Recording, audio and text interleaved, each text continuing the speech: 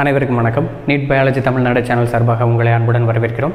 இன்றைக்கி நம்ம பார்க்க போகிற டாபிக் என்ன அப்படின்னா சிக்னிஃபிகன்ஸ் ஆஃப் மைட்டாசிஸ் மைட்டாசிஸ் அப்படிங்கிற ஒரு செல் டிவிஷன் இருக்குல்ல அதனுடைய முக்கியத்துவம் என்ன?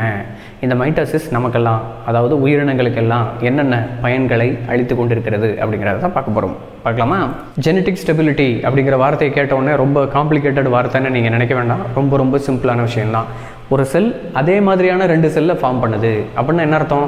இங்கே இருக்கிற ஜீனும் அங்கே இருக்கிற ஜீனும் சேமாக இருக்குது அப்போ அடுத்தடுத்த டாட்டர் செல்ஸ் வந்து உருவாக்கப்படும் பொழுது அந்த இடத்துல அதே பண்புகள் வந்து வித்ஸ்டாண்ட் ஆகும். சரியா? அதாவது அதனுடைய பண்புகள் வந்து நிலைத்திருக்கிறது. அந்த பண்புகள் நிலைத்திருக்கிறதுக்கு காரணம் என்ன?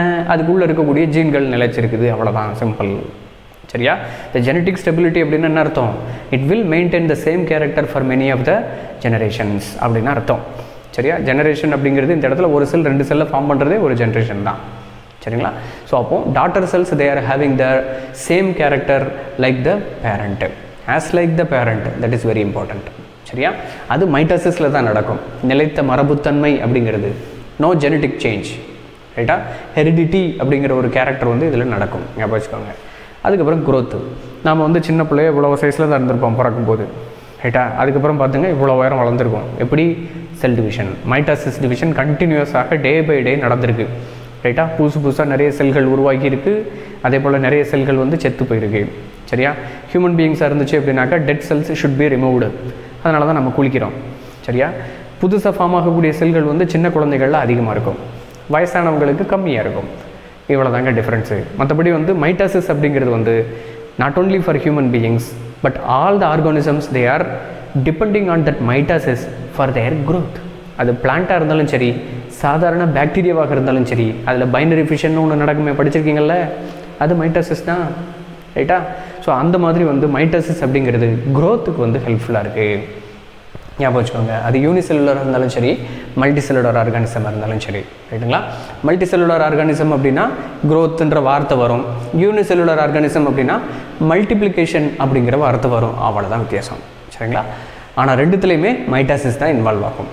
நெக்ஸ்ட் வந்து பார்த்திங்க அப்படின்னாக்கா ரிப்பேர் ஆஃப் டிஷ்யூஸ் நமக்கு ஒரு காயம் வந்துருச்சு அப்படின்னாக்கா அந்த காயங்கள் வந்து ஆறுறதுக்கு புதிய புதிய செல்கள் அந்த இடத்துல உருவாகி அந்த இடத்துல ஒரு பேண்டேஜ் மாதிரி போட்டு அந்த இடத்த க்ளோஸ் பண்ணி விட்டுரும் பார்த்தீங்களா அதுதான் repair of tissues replaced by identical tissues அதே மாதிரியான செல்ஸ் வந்து ஃபார்ம் ஆகி வந்துடும் இப்போ லிவர் செல் வந்து லைட்டாக டேமேஜ் ஆச்சு அப்படின்னாக்கா அங்கே ரீஜெனரேஷன் எபிலிட்டி உண்டா ரைட்டா லிவர் செல்லுக்கு நம்மளோட லிவர் செல்லுக்கு அப்படிங்கும்போது லிவர் செல் தான் புதுசாக ப்ரொடியூஸ் ஆகுது. அதை தான் ஐடென்டிக்கல் டிஷ்யூஸ்னு போட்டிருக்காங்க. சரிங்களா? ஸ்கின் செல்ஸ் வந்து டேமேஜ் ஆச்சு அப்படின்னா ஸ்கின் செல்ஸும் புதுசாக ஃபார்ம் ஆகுது. அவ்வளோதான் சரிங்களா? ஸோ அந்த மாதிரி. ஸோ தட் ஐடென்டிக்கல் டிஷ்யூஸ் ஞாபகம் வச்சுக்கோங்க. நெக்ஸ்ட் ஏ செக்ஷுவல் ரீப்ரொடக்ஷன் இந்த ஏ செக்ஷுவல் ரீப்ரொடக்ஷன் பொறுத்தவரையில் ஈஸ்ட்டு அமீபா ஈஸ்ட்டில் வந்து பார்த்திங்கன்னா பட்டிங் ஃபார்ம் ஆகுது. பட்டிங்னா என்ன அர்த்தம்? ஒரு ஒரு ஒரு ஒரு செல் வந்து பார்த்திங்கன்னா பட்டு மாதிரியான ஒரு ஸ்ட்ரக்சரை ஃபார்ம் பண்ணி சடக்குன்னு அது பிரிஞ்சு போய் இன்னொரு செல்லை ஃபார்ம் பண்ணிடுது. சரியா? அப்புறம் கண்டினியூஸாக அதே மாதிரி பட்டு வந்து கண்டினியூஸாக அதில் ஃபார்ம் ஆகி நீளமாக லீனியர் ஸ்ட்ரக்சராக அது மாறுது. அதுவும் மைட்டாசிஸ் தான். ஏன்னா அதில் ஜெனட்டிக் வேரியேஷன் கிடையாது. சரிங்களா? வேரியேஷன் இல்லாமல் அதே மாதிரி செல்கள் வந்து புதுசு புதுசாக ஃபார்ம் ஆகிட்டுருக்கு அமீபாவும் பொறுத்தவரையில் பைனரி ஃபிஷன் நீங்கள் கேள்விப்பட்டிருப்பீங்க. அந்த பைனரி ஃபிஷனில் ஒரு செல் ரெண்டு செல் ஆகும். ரெண்டு செல் நாலு செல் ஆகும். ஸோ மைட்டாசிஸ் டிவிஷன் தான். நான் ஏற்கனவே சொன்ன மாதிரி மல்டிப்ளிகேஷன் நடக்குது. That is what is the reproduction ability reproduction tendency reproduction method in lower organism ஞாபகம் வச்சுக்கோங்க. லோயர் ஆர்கானிசம்னு என்ன அர்த்தம்? யூனிசெல்லுலர் ஆர்கானிசம் அந்த மாதிரி இருக்கிறதெல்லாம். லோயர் ஆர்கானிசம் நம்மளாம் ஹையர் ஆர்கானிசம் ஆகும் சரியா? ஞாபகத்தில் வச்சுக்கோங்க. அதே போல் ஃப்ளவரிங் பிளான்ஸ் எடுத்துக்கிட்டிங்கன்னா அதில் வந்து bulb corm tuber rhizome runner இப்படியெல்லாம் கேள்விப்பட்டிருக்கீங்களா? பல்புன்னா குமிடம் அப்படின்னு அர்த்தம். காமுக்கு காம் தான். டியூபர் அப்படிங்கிறது வந்து கிழங்குக்கு அதுக்கப்புறம் ரைசம் அப்படிங்கிறது வந்து மட்டனில் தண்டு அப்படிம்பாங்க. சரியா? அதுக்கடுத்து ரன்னர் அப்படிங்கிறது ஓடு தண்டு அப்படிம்பாங்க. இது எல்லாமே வந்து மைட்டோசஸ் மூலமாக தாங்க நடக்குது. இப்போ உருளைக்கிழங்கு இருக்குது அப்படின்னாக்கா அது வந்து டிசட் டியூபர் காம் அப்படிங்கிறது சேனக்கிழங்கு. பல்ப் அப்படிங்கிறது வந்து வெங்காயம். ரைசோம் அப்படிங்கிறது இஞ்சி. ரன்னர் அப்படிங்கிறதுக்கு எக்ஸாம்பிள் வந்து ஐகார்னியா. ஸோ இந்த மாதிரி நிறைய எக்ஸாம்பிள்ஸ் வந்து நாம் மார்பாலஜி லெசனில் படிச்சிருப்போம்.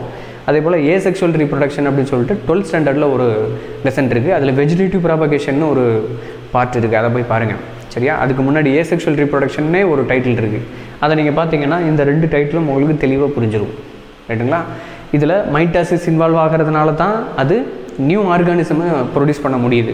ஒரு உருளைக்கிழங்கு வந்து மைட்டாசிஸ் செல் டிவிஷன் மூலமாக தான் புதிய பொட்டேட்டோ தாவரத்தை உருவாக்குது. ஞாபகம் வச்சுக்கோங்க ரைட்டா இதே மாதிரி தான் எல்லாமே. என்ன? நெக்ஸ்ட் வந்து பார்த்திங்கன்னா production of large number of offsprings in a short period of time இப்போ நம்ம வீட்டில் வந்து பார்த்திங்கன்னா மாவு முந்தின நாள் வந்து கலக்கி வச்சுருப்பாங்க. மாவு அரைச்சி வச்சு அடுத்த நாள் காலையில் தானே தோசை சுட முடியும். அன்றைக்கே சுட முடியாதுல்ல? ஸோ அப்போ முந்தின நாள் வச்சுருப்பாங்க. அந்த பாக்டீரியாவுக்கு நமக்கு வந்து பார்த்திங்கன்னா அது இவ்வளோ பெரிய வெசல் தான். ஆனால் பாக்டீரியாவுக்கு வந்து பார்த்திங்கன்னா உள்ளுக்கு வந்து அது பெரிய சர்ஃபேஸு சரிங்களா? மைக்ரான் லெவலில் தானே இருக்கும் பாக்டீரியா அப்போ பாக்டீரியாவுக்கு பாக்டீரியா வந்து அந்த வெசலை பார்க்கும்போது அது பெரிய கண்டெய்னர் மாதிரி. அப்போ அந்த பெரிய கண்டெய்னரை வித்தின் நைட்டு ஒரு நைட்டில் வந்து சட சட சட சடன்னு மல்டிப்ளை ஆகி அடுத்த நாள் பொங்கிடுது மாவு. ரைட்டா அப்போது இந்த மைட்டாசு செல் டிவிஷன் மூலமாக அந்த பைனரி ஃபிஷன் நடக்குது பாக்டீரியாவில் அப்போ மைட்டாசிஸ் அப்படிங்கிறது வந்து within a short time more amount of cells will be produced அப்படிங்கிறத ஞாபகம் வச்சுக்கோங்க. சரிங்களா? இது வந்து ரொம்ப ஸ்பீடாக இருக்கும். பொதுவாக பைனரி அப்படின்னாவே ரொம்ப ஸ்பீடாக இருக்கும். ரெண்டு நாலு நாலு வந்து எட்டாகிறது எட்டு வந்து பதினாறு ஆகிறது பதினாறு முப்பத்திரெண்டு ஆகிறது இப்படியே போட்டோம் அப்படின்னாக்க பைனரியோட ஸ்பீடே வேறு. சரிங்களா? ஞாபகம் வச்சுக்கோங்க. In genetic engineering and biotechnology tissues are grown by mitosis. இந்த மைட்டாசிஸ் இல்லை அப்படின்னா டிஷ்யூ கல்ச்சர் அப்படிங்கிற ஒரு ஃபீல்டே கிடையாது. டிஷ்யூ கல்ச்சர்னால் என்னது? டிஷ்யூ கல்ச்சருக்கு தனியாக ஒரு பிளேலிஸ்ட்டே இருக்குது சரியா? லெசன் ஃபைவ் டுவெல்த் ஸ்டாண்டர்டில் லெசன் ஃபைவ் அதை போய் பாருங்கள் அது எப்படி பண்ணுறது என்ன பண்ணுறாங்க அதில் என்னென்ன அட்வான்டேஜஸ்லாம் இருக்குது அப்படின்னு சொல்லிட்டு எல்லாத்தையும் விளாசிருப்போம் வச்சு. சரிங்களா? ஞாபகம் வச்சுக்கோங்க. ஸோ ஜெனட்டிக் இன்ஜினியரிங் அப்படிங்கிறது மரபு பொறியியல் அப்படிம்பாங்க. பயோடெக்னாலஜி அப்படிங்கிறது உயிர் தொழில்நுட்பவியல் அப்படிம்பாங்க. அடுத்தது மைட்டாசிஸ்க்கு மைட்டாசிஸ் தான். டிஷ்யூ கல்ச்சருக்கு டிஷ்யூ வளர்ப்பு திசு வளர்ப்பு அப்படின்னு சொல்லிட்டு. திசு வளர்ப்பு அப்படிங்கிறது வந்து கொஞ்சோண்டு திசு எடுத்து ஒரு டெஸ்டியூபில் போட்டு வளர்த்துறோம். வளர்த்து புதுசு புதுசாக நிறைய பிளான்ஸ் வந்து அந்த ஒரு டிஷ்யூலேருந்தே வளர்த்துக்கலாம். அதுக்கு சில மீடியம்லாம் தேவை. ஸோ மைட்டாசிஸ் இருக்கிறதுனால தான் அதெல்லாம் நடக்குது. சரிங்களா? மைட்டாசிஸ் டிஷ்யூ கல்ச்சர் மூலமாக என்டேஞ்சர்ட் ஆர்கானிசத்தையும் நாம் வந்து வளர்த்துக்கலாம் பாருங்கள் ரைட்டா என்டேஞ்சர்னா பாதிக்கப்பட்ட தாவரங்கள் அதாவது அழிவு அழிவின் விளிம்பில் இருக்கக்கூடிய தாவரங்கள். அதை வந்து நம்ம டிஷ்யூ கல்ச்சர் மூலமாக மல்டிப்ளை பண்ணி எடுத்துக்கலாம். ஞாபகம் வச்சுக்கோங்க. அதே போல் ரீஜெனரேஷன் நார்மலாக அனிமல்ஸ்க்கு இல்லை வந்து பார்த்திங்கன்னா ரீஜெனரேஷன் என்றவுடன் சட்டுன்னு எல்லாருக்கும் ஞாபகம் வர்றது வந்து இந்த பல்லியோட வால். சரியா? டெய்ல் ஆஃப் த லிசார்ட் அப்படிம்பாங்க. அதே போல் இந்த ஸ்டார் ஃபிஷ் ஸ்டார் ஃபிஷ்ஷில் வந்து ஒரு ஆம் காணாமல் போச்சு அப்படின்னாலும் அந்த ஆம் வந்து புதுசாக அது டெவலப் ஆகிடுது இந்த ரீஜெனரேஷன் எபிலிட்டி அப்படிங்கிறது வந்து மைட்டாசிஸ் மூலமாக தாங்க நடக்குது. ஸோ அப்போ மைட்டாசிஸினுடைய சிக்னிஃபிகன்ஸ் வெவ்வேறு ஆர்கானிசத்தில் வெவ்வேறு மாதிரி பண்ணாலும் அதனுடைய கான்செப்ட் வந்து சேம் தான். ஒரு செல் ரெண்டு செல்லை ஃபார்ம் பண்ணுது. ரெண்டு செல் நாலு செல்லை ஃபார்ம் பண்ணுது. அதை வேகமாக பண்ணிடுது அவ்வளோதான் மேலும் பல தகவல்களை தெரிந்து கொள்வதற்கு நீட் பயாலஜி தமிழ்நாடு சேனலை சப்ஸ்கிரைப் பண்ணுங்கள் நன்றி வணக்கம்.